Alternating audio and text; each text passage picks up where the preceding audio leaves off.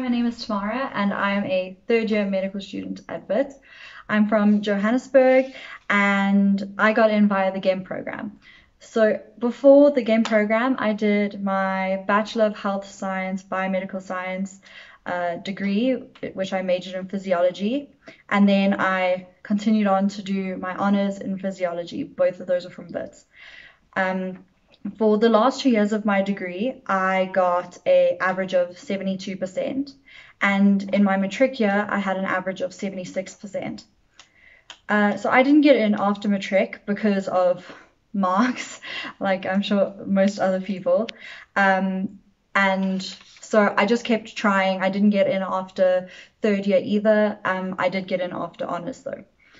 Um, I, I did have to take the WAPT test because I didn't exempt from it in second year. Uh, the so for the WAPT because in the WAPT you do three subjects physiology, molecular medicine, and anatomy. I did all three of those subjects in second year, so I wasn't new to the topics.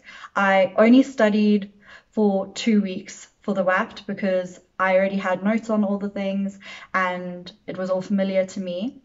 Uh, for the WAP, I was a bit stressed and irritated that I had to write in the first place, that I hadn't exempted it. I was mostly irritated with myself, um, but it, that made it more difficult to study. But I just had to push through and put in the effort, and I felt prepared at the end of the day.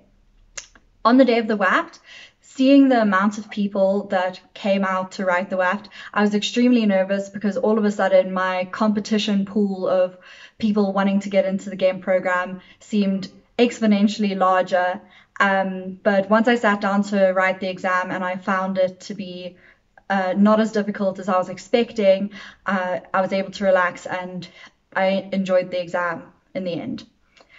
So my advice for future GEMPs would be to not give up, keep going. Uh, don't feel disheartened if you fail. Every failure and every wrong turn you feel like you're taking, every honors course you have to take, or different undergrad that you wanted to do that you didn't want to do, rather, um, it's all going to help you grow in massive ways. And ultimately, you're going to be so much more prepared for medicine when you get into it. So good luck, and I hope you get in. Our greatest glory is never in falling, but in rising every time we fall.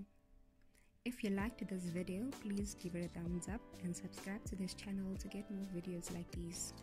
Thank you to the new subscribers, very much appreciated.